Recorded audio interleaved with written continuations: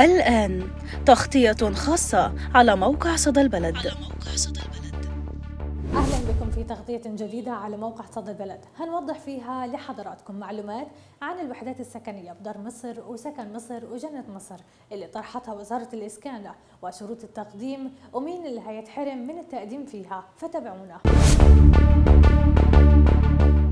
طرحت وزارة الإسكان والمرافق والمجتمعات العمرانية النهاردة 15 من فبراير كراسات شروط حجز الوحدات السكنية الجاهزة للتسليم الفوري بدار مصر وسكن مصر وجنة مصر للمواطنين متوسطي الدخل على الموقع الإلكتروني لصندوق الإسكان الاجتماعي ودعم التمويل العقاري. وذلك ضمن مبادرات البنك المركزي المصري المتنوعة للتمويل العقاري اللي وجه فيها الرئيس عبد الفتاح السيسي بفائدة 3% متناقصة و8% متناقصة والحجز في هذه الوحدات حيبدأ من النهاردة 15 فبراير حتى 8 مارس 2022 أما عن كيفية شروط التقديم على هذه الوحدات فبالنسبة للوحدات السكنية اللي في سكن مصر هتكون في مدن أكتوبر الجديدة العبور الجديدة القاهرة الجديدة المنيا الجديدة بدر حدائق أكتوبر دمياط الجديدة وناصر غرب أسيوط والشروق. بمساحات تتراوح ما بين 106 متر مربع و 133 متر مربع. فعلى المواطن أنه يسدد مبلغ 40 ألف جنيه كمقدم لجدية الحجز. أما بالنسبة لمشروع دار مصر فيتضمن طرح وحدات سكنية جاهزة للتسليم الفوري. في مدن السادات 15 مايو الشروق العاشر من رمضان بدر برج العرب الجديدة حدائق أكتوبر. بمساحات تتراوح بين 100 متر مربع و 150 متر مربع.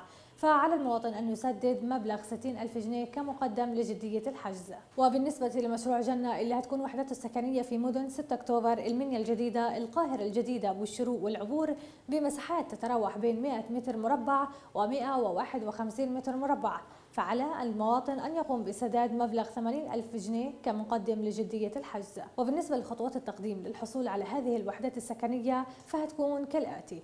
أولا سداد جدية الحجز. ثانيا التقديم على الموقع الإلكتروني للصندوق ورفع الأوراق المطلوبة. ثالثا انتظار رسالة نصية بكود التفعيل.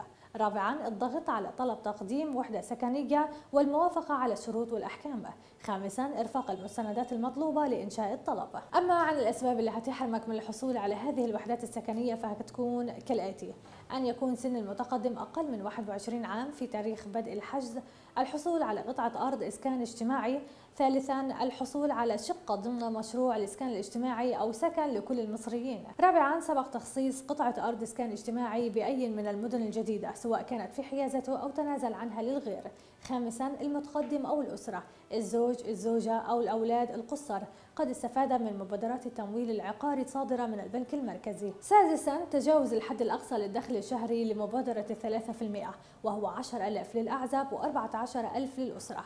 سابعا وأخيرا تجاوز الحد الأقصى للدخل الشهري لمبادرة الثمانية في المئة وهو أربعين ألف للأعزب وخمسين ألف للأسرة.